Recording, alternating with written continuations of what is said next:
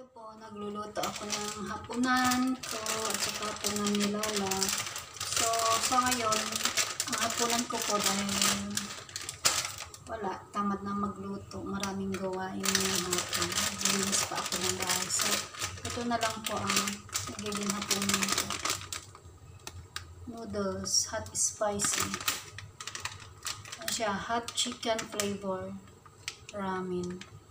Budlak, ay, buldak. So, ito siya. Noodles siya. Ah, maanghang.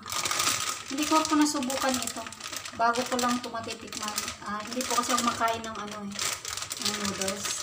So, ngayon lang. Para, ano, may ma-upload ako. Yan. Okay, lulutuin ko na po.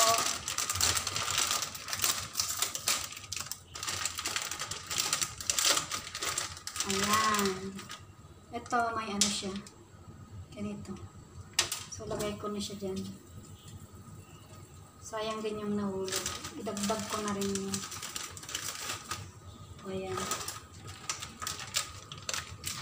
So, ayan po. Lulutuin natin. So, ito po yung sauce niya.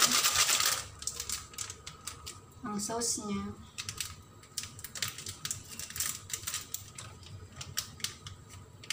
Ayan. Lagay ko na po siya dyan. Lagay ko na lahat. Baka sobrang ano nito. Sasakit ng tiyan ko nito. Dahil. Tapos ito may ganito siya.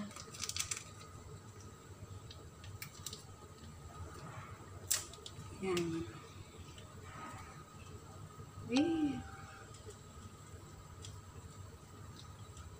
So, noodles lang po siya. Hindi ko na po siya lalagyan ng gulay.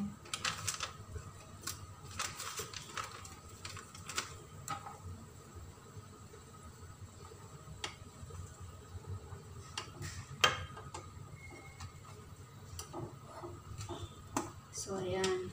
Lapit na siyang malu- maluto. Ala, very spicy po. Yung kulay pa lang niya, spicy na. Ayan po.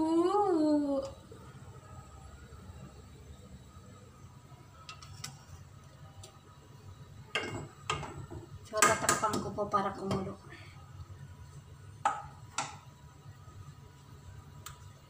Ayan. Kainan na.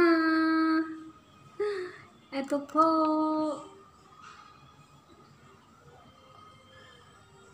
Very spicy. Tsura pa lang sobrang anghang na.